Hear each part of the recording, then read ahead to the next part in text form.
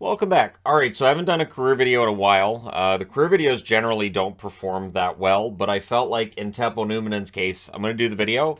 I don't expect a lot of eyeballs on said video, but he had a good career. He had an interesting career too, and sadly is one of those players who's played a ton of games and did not win a Stanley Cup in his career. Spoiler alert and all that, right? So he was a number 29 pick of the Winnipeg Jets in 1986, and he would be in that organization for almost two decades if you included him being drafted by them. Uh, 88 89, he made his debut for the Winnipeg Jets, played 69 games, one goal, 14 assists, 15 points. One thing with Numminen is he was very remarkably consistent. Uh, his offense would show up in year two 89 90, 79 games, 11 goals, 32 assists, 43 points and he very quickly becomes a workhorse for the Winnipeg Jets. In the playoffs, he adds a goal and two assists for seven in, in seven games, three points in seven games. Uh, 90 91, 80 games played, eight goals, 25 assists, 33 points. I remember the Jets missed the playoffs by one point behind the Canucks that year. Uh, 91 92, 80 games, five goals, 34 assists, 39 points. In the playoffs, he had zero points in seven games played. Uh, 92 93, played 66 games that year. Seven goals, 30 assists, 37 points. In the playoffs, he adds a goal and an assist for two points in six games. So through his first five seasons, the rookie season, of course, just the 15 points, but between 33 and 43 points every year uh, for the next four years. Now it drops off a bit in 93 94. He misses some games, plays 57 altogether, but his scoring rate is still pretty good at five goals, 18 assists, 23 points. And again, he's a very reliable two-way defenseman. He plays a lot of minutes. before they were tracking minutes like they do now, but he played a ton. 94-95, a lockout shortened season, plays 42 of the 48 games, 5 goals, 16 assists, 21 points. Point every other game, he was on pace for 41 points that year. 95-96, uh, 74 games played, 11 goals, 34 assists, 54 points. He has his best year with the Jets in a year that we all know the Jets were moving. Uh, there was no secret that the Winnipeg Jets were moving. Now, the Jets made the playoffs. And I think part of the reason they made the playoffs is because that team worked their hearts out, realizing this was their last year in Winnipeg. In the playoffs, no points for Numminen in six games.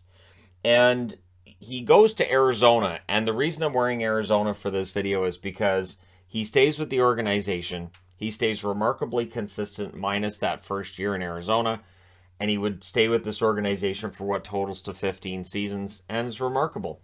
And the Arizona Coyotes organization really uh, has shown that they appreciated what he did for them as well. So in 82 games that first year of 96 97 with the Coyotes, two goals, 25 assists, 27 points. So that's the first time we've seen a drop off. It wouldn't stay that way. In the playoffs, he picked it up too. Three goals, three assists for six points in seven games. So he scores more goals in the playoffs than he did in the regular season. That wouldn't happen again. 97 98, uh, 82 games, 11 goals, 40 assists for 51 points. He only played one game in the playoffs. He was ninth in Norris voting. So he got he got some attention. He was not a Norris winner or a top three guy, but he got some attention, and probably would have got more votes if he'd been more readily seen than he was in Winnipeg or Arizona. Uh, 98 99, 82 games, 10 goals, 30 assists, 40 points. In the playoffs, he adds two goals and an assist for three points in seven games. And he did get to play in the All Star game that year. That was his first All Star appearance, which is kind of a surprise a decade into his career, but at least he got there.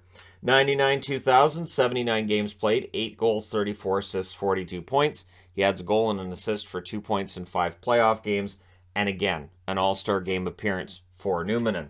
2000 2001, 72 games played, 5 goals, 26 assists, 31 points.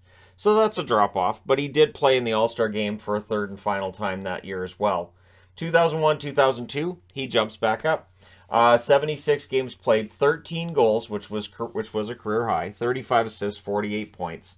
The Coyotes do get back into the playoffs. He plays four games with them, no points in those four games. He was seventh in Norris voting that year and eighth in Lady Byng. So again, very solid, solid defenseman, two-way player, played a ton of minutes. That continued. 2002 2003, 78 games played, 6 goals, 34 assists, 40 points. And then he gets traded. One year left in his contract, so they traded him to the Dallas Stars in exchange for Mike Sillinger. Dallas looking for some uh, depth on the blue line. Sillinger, a useful uh, third, fourth line center at that stage in his career. Uh, could play second line too. Sillinger worked up and down the lineup. There's a reason that he played with as many teams as he did. There was always somebody else that wanted his services. Uh, so 2003, 2004, 62 games played, three goals, 14 assists, 17 points. Uh, it didn't work out as well in Dallas as I think he and the Stars would have hoped. In the playoffs, he adds one assist in four games. So he becomes a free agent. Uh, we lose a whole season of hockey, however, for 04 05, which is another 70 75 games he could have played that year, and he would have been over 1,400 games in his career.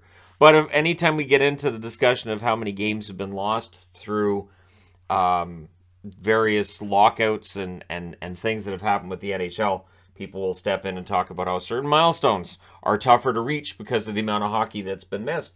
So 0506, he ends up in Buffalo. August 4th of 2005, he signs with the Buffalo Sabres.